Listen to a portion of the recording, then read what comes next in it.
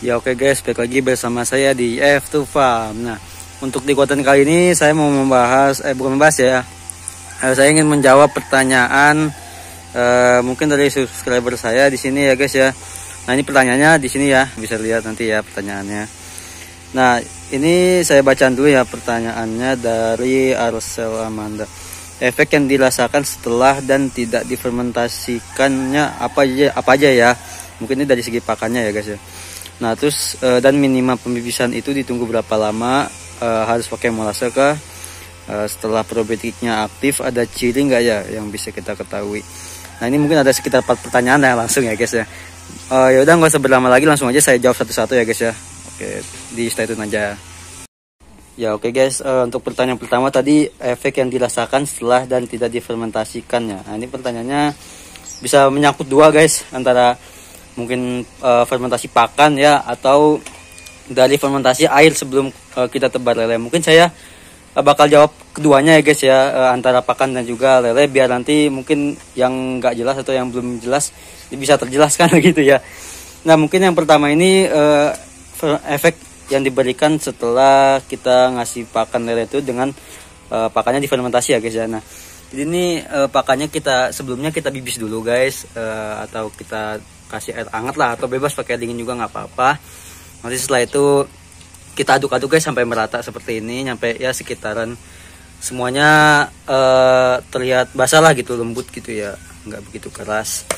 Nah nanti setelah itu kita kasih probiotik guys atau bisa E4 juga bisa ya kalau misalnya kalian nggak bikin probiotik nah nanti uh, dicampur aja guys secukupnya aja nanti kita aduk-aduk sampai merata baru kita kasih ke lelenya gitu ya Nah, sepengalaman kita ini dikasih probiotik pertama itu guys, uh, lele jadi sehat ya, terus gak gampang sakit.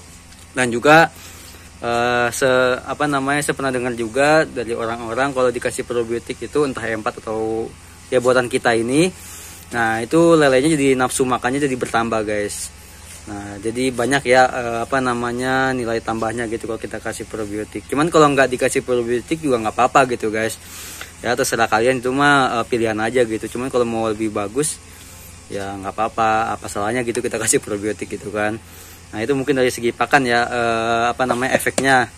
Nah mungkin dari segi airnya itu kalau dikasih probiotik ya lelenya juga sama sih guys. Nggak gampang sakit. Terus juga ya mungkin apa namanya uh, pH airnya itu jadi netral kali ya mungkin ya. Jadi apa nggak banyak bakteri yang bikin penyakit lele gitu guys. Terus juga uh, apa namanya si lele ini kalau dikasih probiotik uh, sebelum apa pas di airnya itu nah jadi nanti uh, setelah dikasih probiotik itu si air tuh bakal berwarna hijau seperti ini guys nah itu tandanya si probiotik yang kita berikan itu sudah bekerja gitu ya di dalam airnya ini jadi dia pengurai ya yang apa namanya juga membasmi bakteri-bakteri yang jahat yang ada di dalam kolam ini gitu guys Nah, mungkin ada pertanyaan juga ya sekalian guys nih, uh, kalau pakai air pump gimana gitu ya. Nah, kalau pakai air pump saya sarankan sih uh, diindepin dulu ya guys ya selama kurang lebih seminggu sebelum tebar lele. Nah, setelah kaporitnya hilang baru kita tebar probiotik guys. Karena kalau langsung ditebar lele itu uh, apa namanya? Kemarin pengalaman teman saya itu banyak yang sakit guys lelenya. Ya mungkin efek dari kaporitnya itu ya. Dan juga kalau kita kasih probiotik pada saat ada kaporitnya juga nggak bisa guys. Tahu saya sih gitu ya. Mungkin nanti bisa ada yang berbeda berpengalaman bisa cerita di video ini gitu ya guys. Nah jadi gitu guys. Apa namanya kalau uh, pakai air pump saya sarankan di dulu ya kurang lebih seminggu baru kita nanti bisa uh, tebar lele dan juga probiotiknya gitu guys ya. Oke mungkin tadi pertanyaan yang pertama udah terbalaskan ya uh, soal tadi efeknya gitu ya uh, difermentasi atau tidak gitu ya. Uh, dari segi pakan ataupun uh, air gitu ya karena di sini penjelasannya nggak begitu mendetail atau air atau peletnya gitu. Nah lalu yang kedua uh, saya bakal uh, jawab lagi.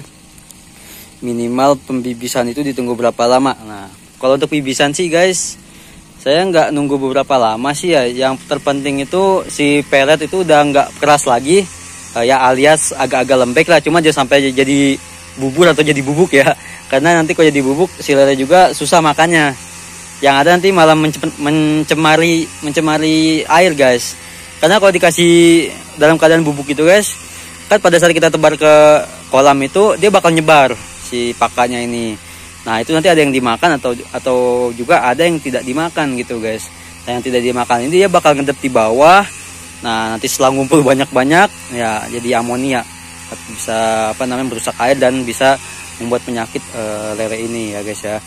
Nah jadi kalau untuk uh, pembibisan ini saya apa namanya sih ya sarankan gitu ya guys ya. Kalau kita di sini nggak perlu nunggu 30 menit atau 5 menit yang penting uh, pada saat bibis itu kita aduk-aduk sampai peletnya udah nggak keras lagi uh, sampai agak lembek barulah kita bisa kasih ke lele. Tapi beda lagi dengan air hangat ya guys ya kalau kalian pakai air hangat ya kalau bisa ditunggu agak dinginan ya. Ya baru kita kasih ke lele gitu ya guys ya. Semoga udah terjawab ya. Nah lanjut lagi pertanyaan selanjutnya. Oke guys saya lupa.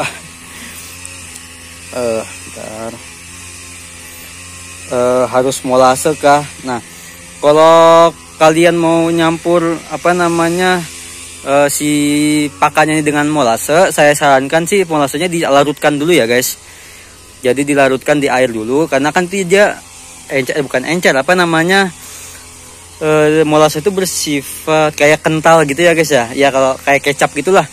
Nah itu harus ditebar eh, harus dilarutkan dulu guys di dalam air.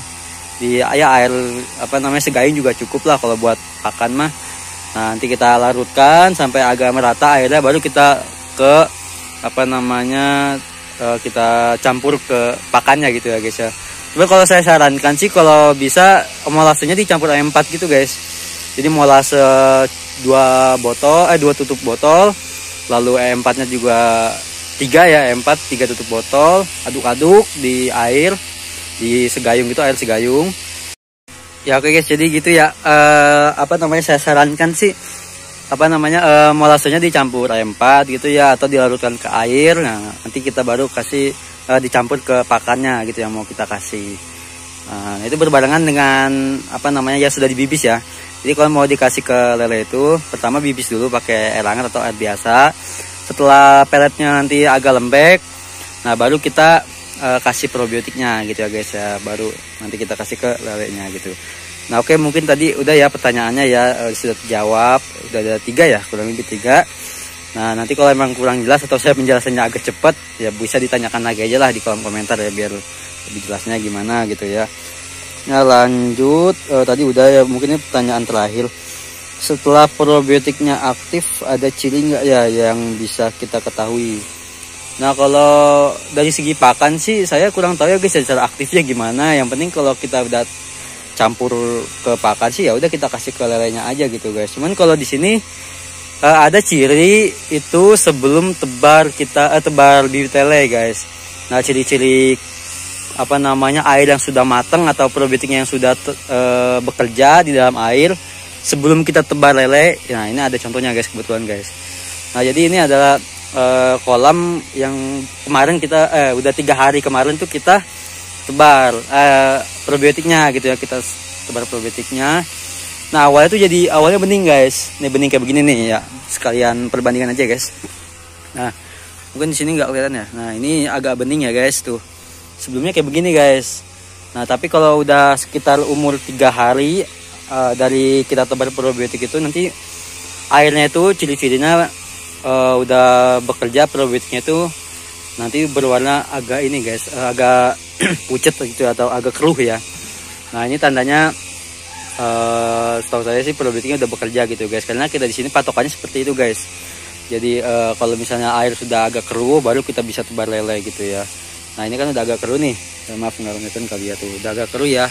Ya cuma masih agak-agak bening nah itu tandanya si probiotik udah siap dan kita boleh tebar lele eh, tebar bibitnya gitu ya. Nah gitu guys. Tuh. Kalau yang ini agak kotor guys. Kalau ini ini hasil pembuangan apa namanya kemarin kita nyortir. Ya tapi masih bisa dipakai juga guys gitu. Saya saranin sih kalian kalau mau nyotil nyotil lele itu jangan dihabisin semua airnya. Kalau bisa dipindah lah. Kita buang dulu bawahnya sekitar ya 5 cm atau 10 cm lah baru kita sisanya itu air kita taruh di kolam lagi eh, di kolam yang kosong gitu guys. Kita tampung di situ. Karena sayang guys kalau buang-buang air itu kan airnya udah jadi itu. Udah jadi apa namanya perbiknya udah bekerja lah gitu guys. Jadi sayang kalau kita buang-buang nanti kita udah ulang lagi gitu kan uh, fermentasinya gitu. Nah oke okay guys. Mungkin udah terjawab semua ya uh, tadi pertanyaannya dari uh, Mas atau Mbak uh, Arsul Amanda. Nah itu semoga sudah terjawab gitu ya. Terima kasih juga atas komentarnya. Ya jadi apa namanya semoga bisa terus apa namanya support dan juga kalau emang uh, sudah menjalani usaha budidaya lele semoga bisa sukses ya usahanya dan bisa berkembang gitu ya. Oke okay guys kalau misalnya ada pertanyaan lagi boleh. Ya gitu ya guys. Uh, kalau ada pertanyaan bisa di kolom komentar aja guys gitu ya oke jangan lupa untuk like comment dan subscribe. Terus dukung channelnya agar bisa berkembang dan juga uh, bisa bermanfaat untuk kalian semua gitu ya guys ya. Nah ini kita bahas tentang lele lagi ya guys ya. Karena ada pertanyaan. Alhamdulillah juga atas pertanyaannya guys ya. Uh, tadi. Nah nanti mungkin next saya mau bahas tentang itu guys tuh di depan tuh.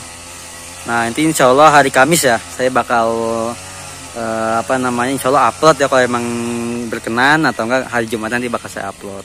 Ya moga ini nanti ini menjadi ilmu kalian juga ya. Jadi hidroponik di atasnya di atasnya hidroponik di bawah kolam lele gitu ya. Nah itu kayak gimana sih caranya? Ntar next ya. Oke, stay tune terus. Dah.